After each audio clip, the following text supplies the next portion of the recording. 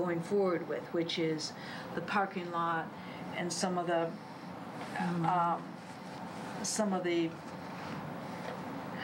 stuff along Wilmette Avenue uh, as well. So those are not, you know, those were changes to the plan, so which, Yeah, I'm not sure what you're specifically referring to. I know some, some things are on the parkway, which we can't impact because that's not our um, land. Right. Basically, and those, um, there were a couple trees in question there. Um, The pear trees along the, the Right. parkway are village property. right, the Right. village, you know, that's, the, Shelley raised issues with respect to the plantings there and why they were non-native and that's village property.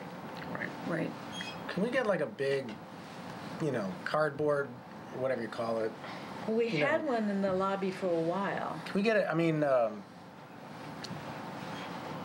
you know, given that there's some interest, and I'm sure there's more, just sort of putting something on the lobby. This is what we intend to do. We're Right. voting on it whenever. These are the pieces where. This is why we're doing it. Mm-hmm. Are we still doing the? Are we, I mean, is the plan still to do the butterfly garden thing? Yes, we, the butterfly garden, such as it is, Right. and such as it will be, has probably had hours of conversation. It actually will be expanded because it will go around the corner a little bit. And we'll have a, a walkway through it so kids can see it up close and personal. So, Yes, I think it's also important to note that the committee has been working for over a year with the landscape architect in defining what the objectives were and in developing alternatives, evaluating those alternatives. The present plan is not something that was just created on a whim. Uh, there's been a lot of effort gone in that has been invested in it already. Um, and I don't think that the remarks this evening at the beginning of our meeting accurately reflected that effort. So, you know, there's been a lot of work, there's been a lot of thought, and the committee is to be commended for um, working on this diligently for a long period of time to make sure that it reflected uh, future uses of the outdoor space that would be beneficial to the patrons and to the community, and also adherence to uh, the objectives that um, those objectives that we agree with uh, with respect to uh, reuse of, of plants and trees that can be reused and using native plants whenever it's feasible to do so.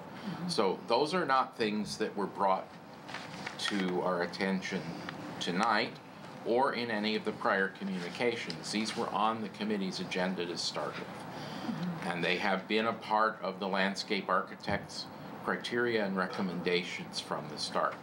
So, you know, it's important to keep in mind that sometimes public comment doesn't start from where we actually have been.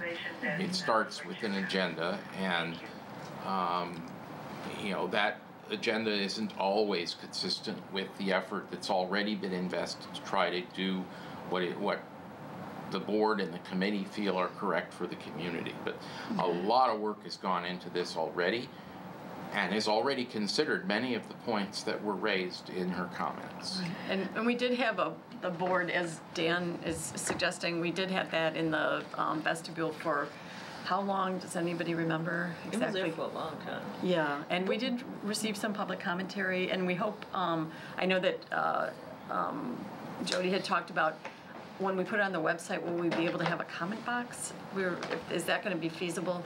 She talked about, um, perhaps there being some way to comment on the website, so I don't know if that's, maybe you can ask her if that's still possible. Sure. I mean, and there, there So- will have to be a big communication piece once it starts.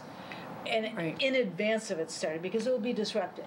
It will be Um, disruptive, And in fact, for Anthony was sort of saying, is starting to wrap their brain around the fact that um, it's all around our entrances. Mm-hmm. The front entrance, wrapping around to our alternative side entrance, I guess there is the back door entrance, and there may have to be some conversation of exactly how that's going to The work. staging, and that's something And we can staging work with the and can we construction stay open manager. absolutely every day? Might we have to close for a little bit uh, for, I mean, the horror, the horror, but, you know, Mm-hmm. maybe.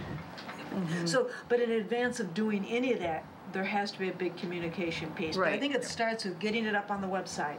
Right, that's a good first Um, start. And as you said, the, we anticipate dealing with the uh, management, the construction management issue and the next meeting. um, And how to proceed on that. So, And the comment section could be some little fun vote areas where, you know, if you all selected something between that and that, just let them vote on it. Right. Stuff that you Or say, yeah. you know, like do, do like these seating pebbles or something. Mm-hmm. Um, Seating pebbles. no, there are seating. Jen is not here, so you are all charged with reading ILA yourself. Uh, The library will be closed starting tomorrow at five. And Thanksgiving we will be closed as well. Um, The holiday party, December 12th, be there or be square. And Um, then uh, And there's also a goodbye for for Karen. Karen Joshi, Yes. November 29th. Our, she's been here seven years? Seven years, I think. Is that about right? Um, so Thursday, November 29th from 4 to 5:30 in youth services. And then, are you going to bring up the election? Can you, the four seats? I should send a shout out to people if they want to run. Right. you'd like to be sitting in one of these chairs, this is your chance. Four seats. Um, Any new, any other business?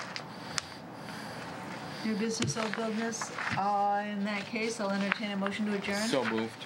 All right? All in Second. All right, we're adjourned. Have a very nice Thanksgiving.